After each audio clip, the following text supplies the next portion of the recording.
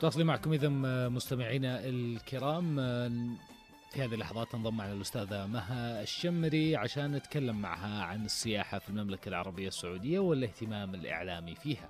أهلا وسهلا أستاذة مها. أسعد الله مساكم جميعا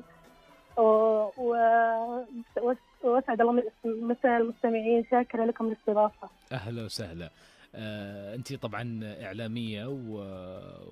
وعندك تخصص في هذا الجانب. ودي أسألك عن عن عن السياحة في المملكة والاهتمام الإعلامي فيها كيف شايفته؟ الحديث عن السياحة السعودية علينا في البداية أن تناول رؤية ثلاث رؤيه المملكة في 2030 قد بدأت الحركة السياحية تشهد جهود نوعية وتطورية من هذا الجانب. آه، ليس لدينا إعلام سياحي كما نعرف.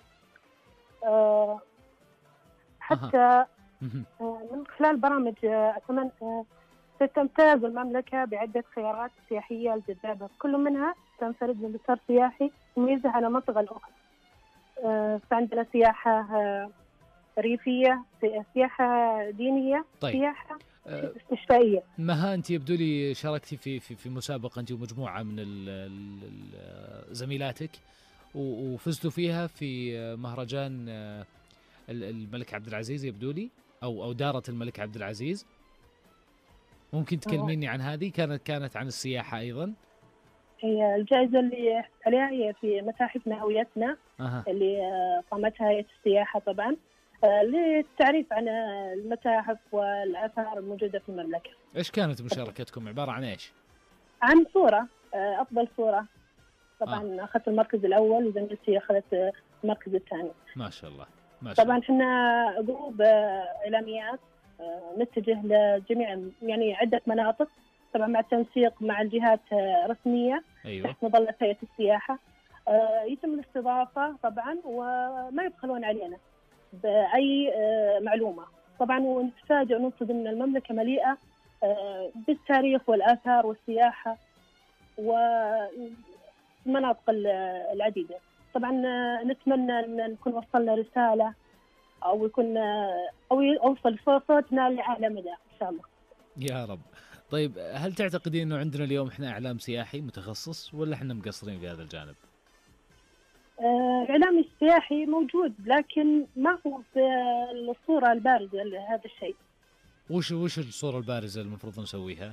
المفروض يكون في مثل ما في مرشد سياحي أيوه. يكون في إعلام سياحي ما يكون في دورات تكليفيه لهم يكون معهم آه، رخصة مثل رخصة الإرشاد السياحي كذا مثل ما وصل المرشد السياحي رسالة أتمنى أن يكون للإعلام دور في هذا الشيء. أها طيب آه، إيش الأدوات اللي اللي يحتاجها الإعلامي وهل هل هل الموضوع مكلف بالنسبة لكم في تغطية الأماكن السياحية ولا لا؟ لا بالعكس مو مكلف يعني يعني كاميرا الجوال أكدتنا يعني ونتمنى إن شاء الله يكون معنا معدات أكثر عشان آه نوصل لهدفنا باذن الله. اليوم اليوم كاميرا الجوال كافية لأن تقومين بتغطية ممتازة تعتقدين؟ أنا الحين أقوم بكاميرا الجوال. عبر سناب شات ولا وين؟ آه أنا اغطي طبعا في سناب شات وأنزل في تويتر وأغطي في الإنستغرام. امم يعني انت تعتقدين انه اليوم آه، ممكن يجيك جمهور وانت تغطين مناطق سياحية داخلية مو بلازم انه انت تطلعين برا مثلا عشان يجونك الجمهور في سناب شات وفي خلافه؟ آه لا لازم أغطي في جميع يعني لا أكيد شلون يعني داخليا انت تعتقدين انه التغطية اللي تقومين فيها ما تكفي انك تجيب جمهور؟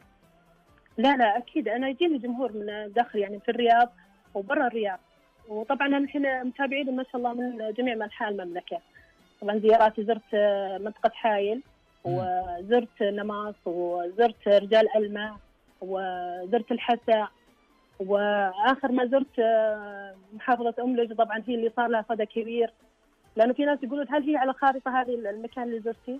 يعني هل هي موجودة هذه فعلا في السعودية؟ آه، فمثل ما أنا كنت مصدومه في محافظة أملج الكثير انصدم في محافظة أملج. طبعا مالديف السعودية يسمونها آه، كان لها صدى كبير صراحة. ما شاء الله. طيب إحنا يعني آه، ودي أسألك عن عن إحنا كإعلاميين عندنا القنوات التقليدية. هل أنت تشوفين إنه والله اليوم الإعلام التقليدي يحتاج إلى إلى تعزيز أكبر من الإعلام الجديد أو أنه الإعلام الجديد يستطيع أن يصبح إعلاما مستقلا والإعلامي الجديد يستطيع أن يصبح إعلامي مستقل عن كل المؤسسات الإعلامية التقليدية. بلا شك الإعلام الجديد غطى على الإعلام القديم. الناس يعني الحين ما في مجال يعني تقعد عند التلفزيون وتشوف أو تبحث عن برامج، أقرب مالها يعني سناب شات وتويتر وانستغرام. okay okay. طيب انت انت تعتقدين يعني إنه انت ستكتفين في هذا مستقبلا؟ هذا هذا مصدر دخلك راح يكون؟ هو المعلومة ترى يعني أنا وزميلاتي نغطي بدون مبلغ مادي. هذا تطوع مننا. إي أنا عارف. المعلومات إيه؟ أنا, أنا عارف. لكن ف... أنتم. يعني تطمحون إنه يكون في تواجد مستقبلا إعلاني؟ إي نطمح إنه يكون ي... ي... فريقنا يلقى النور ويلقى الدعم من جميع الجهات. وشو فريقكم؟ ما سولفتي إحنا فريق فريقنا إحنا متكون من أربع بنات هو فريق سعوديه التراث. طبعا إحنا نغطي المناطق التاريخية والأثرية. يعني قبل ما نكون يعني سياحة. فننصدم نلقى السياحة غطت على الأماكن التاريخية والأثرية. ففريق متكون من الأستاذة ندى البليهي مهر رميح مضاوي الشاقي. وبهذه الحالة نكون غطينا إن شاء الله لو جزء بسيط من المملكة ونتمنى أنه فريقنا شوي يلقى النور بإذن الله. كم عدد فريقكم؟ أربعة. أربع أشخاص. أربع أشخاص. أوكي. الله يوفقكم وإن شاء الله بإذن الله تعالى تجدون ضالتكم فيما تبحثون عنه وأتمنى لك كل التوفيق الأستاذة مها الشمري وأنت إعلامية وضيفتنا أيضا. تكلمنا معك عن السياحة في المملكة وعن المناطق الأثرية. شكرا جزيلا لك. شاكرا لكم شاكرا لكم. عفو هلا وسهلا.